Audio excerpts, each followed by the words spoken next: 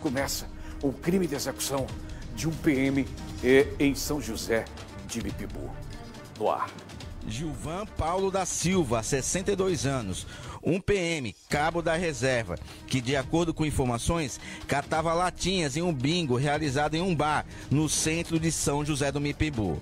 Papai Noel, como também era conhecida a vítima, foi a um outro bar na mesma rua pegar latinhas para reciclagem. No local iria acontecer um show e estava repleto de pessoas.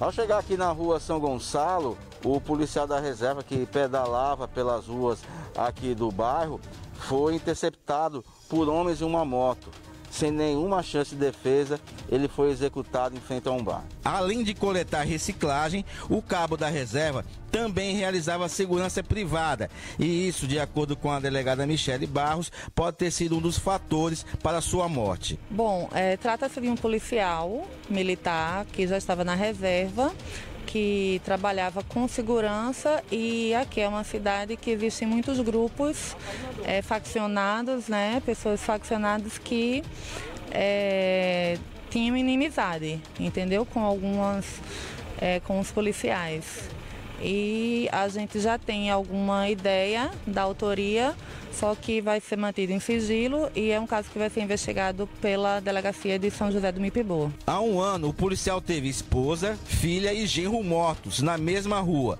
A delegada também não descarta a relação dos crimes com a morte do cabo. É uma linha de investigação que a gente não vai descartar.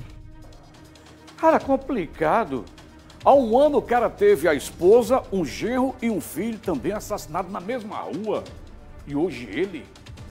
É ligação um crime com o outro? Eu acredito que sim.